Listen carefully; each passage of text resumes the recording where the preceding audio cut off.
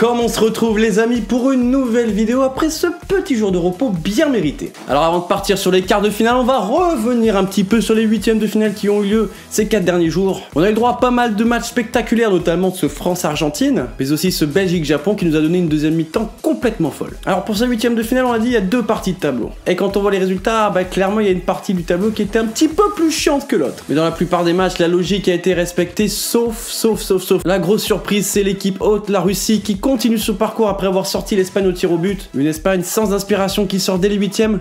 Ça va faire mal au pays du chorizo. Et on commence avec le premier match, Uruguay-France.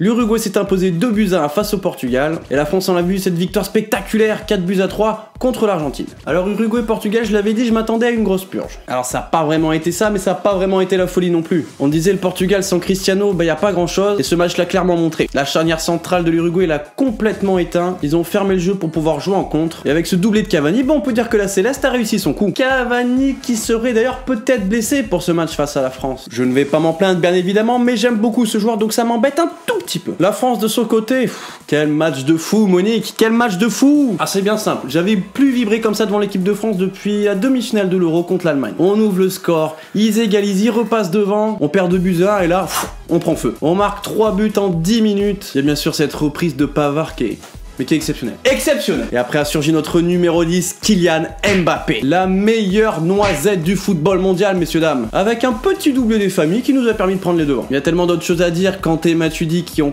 complètement éteint Lionel Messi, mais mon petit chouchou cette année c'est vraiment Lucas Hernandez. C'est typiquement le genre de mec que tu détestes avoir en face. Tu sens qu'il a cette grinta un peu sud-américaine, il a fait péter des plombs à tous les Argentins, il s'est même pas pris un carton, c'était exceptionnel. Pour mon pronostic, eh ben c'est un petit peu compliqué. J'espère bien évidemment que la France va se qualifier, mais je sais aussi qu'on a beaucoup de mal contre ces équipes qui jouent très très bas sur le terrain. Je pense que c'est un match qui est un petit peu plus pour Giroud qui a été invisible contre l'Argentine malgré sa passe décisive, mais clairement ça va être un match beaucoup moins spectaculaire que celui contre l'Argentine. Mais je sais pas, je sais pas, je le sens. Je vois la France s'imposer dans les 90 minutes, je sais pas, 1-0, 2-1, une petite croûte comme ça là. Bah je suis peut-être un petit peu trop chauvin, mais je sais pas, je le sens, c'est comme ça. Allez, on passe au deuxième match de cette journée, Brésil-Belgique.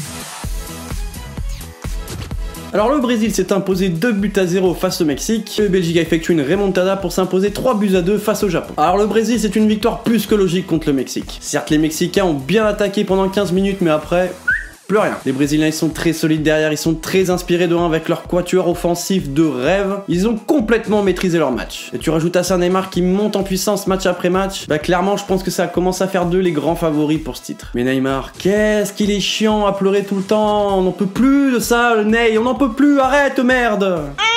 La Belgique, elle, revient de très loin. Je sais pas, tu les regardes sur le terrain, t'as l'impression qu'ils ont pas confiance en eux alors qu'ils ont un des plus beaux effectifs du monde. Et très franchement, à 2-0 pour les Japonais, je me suis dit, c'est fini, ils reviendront pas. Je pense que le but du 2 buts à 1 les a vraiment relancés. Là, les mecs, ils sont dit, à pas se faire pas de par le Japon quand même. Deuxième but de Fellaini. Et ce dernier but en compte après un ultime corner des Japonais qui, eux, ont joué la victoire jusqu'au bout. C'est un crève-cœur pour les Japonais parce qu'ils ont vraiment fait un super match. Mais c'est la Belgique qui s'impose avec ce but à la 94e de Nasser Chadli. Et le plat pays va pouvoir voir les quarts de finale. Alors pour vous mon pronostic, j'ai envie de dire que ça dépend des Belges. S'ils font la même première mi-temps que contre le Japon, il faut se prendre une fessée, c'est obligatoire. Et puis cette défense à 5 avec Carrasco à gauche, bah ça marche pas. Néanmoins, je pense que les Belges ont compris qu'ils avaient quelque chose à faire, donc j'attends beaucoup d'eux. Mais pour jouer la sécurité, je vais quand même parier sur une victoire du Brésil qui est très très impressionnant lors de cette Coupe du Monde. Et voilà, c'est fini pour ces matchs du vendredi. Je vous remercie d'avoir regardé cette petite vidéo. N'hésitez pas à mettre un j'aime, à me donner vos pronostics également. En attendant, je vous souhaite de bons matchs et je vous dis à demain pour les pronostics du match de samedi. Voilà, ça marche comme ça, c'est un jour sur deux. Ciao